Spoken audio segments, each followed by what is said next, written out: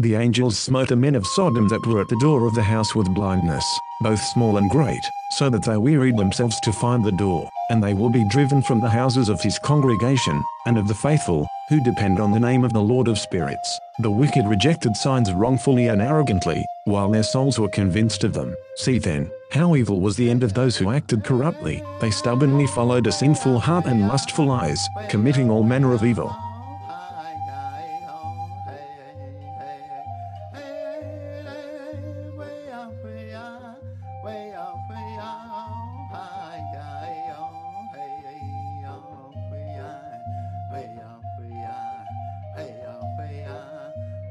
This is the end of the thousand years tribulation. Psychic predators are using hypnosis and the science of the mind to control and manipulate you. The Bible calls them demons. This is April Schulthies, and I am not happy, and will not be happy, until every demon is removed from the earth. Lucifer and his minions must be cast into the lake of hellfire and brimstone that ascends forever and ever. I pray daily for the Lord to destroy the destroyers.